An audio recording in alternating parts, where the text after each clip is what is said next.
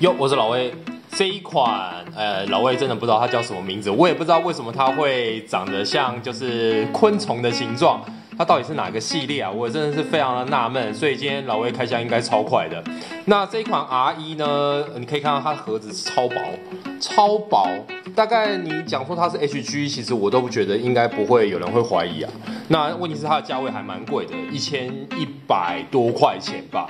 所以我觉得这一款，如果你魂商店那个时候没有定啊，我觉得我可以猜测啦，应该是未来是绝对不会再犯的商品啊。因为这个真的是超冷门，R 一本来就很冷门，然后再加上这一款。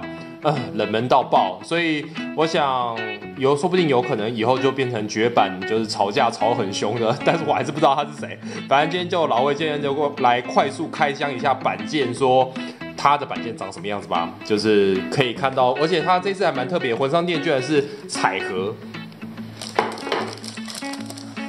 首先可以看到板件啊，其实板件真的非常少。你讲说它是 H 区，我都觉得应该没有人会怀疑。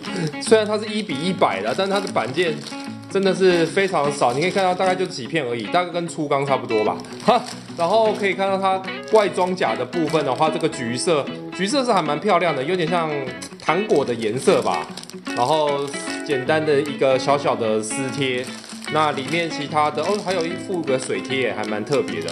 好，真的蛮特别，超出乎我意料之外。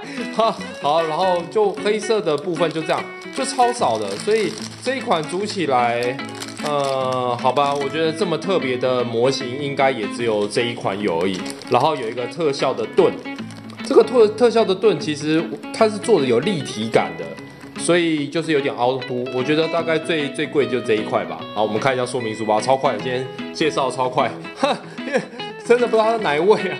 好，可以像 R 一的组装版就很简单，那再加上这一款，呃，我真的是觉得，我觉得这一款应该蛮小的，是 V 钢弹系列的，但是 不知道哎，它长得最后长得像就是蜜蜂的形状，所以如果你对蜜蜂有爱的话，我觉得入手一下吧，说不定以后这一款应该会绝版到个不行。好，我们下期再见，拜拜。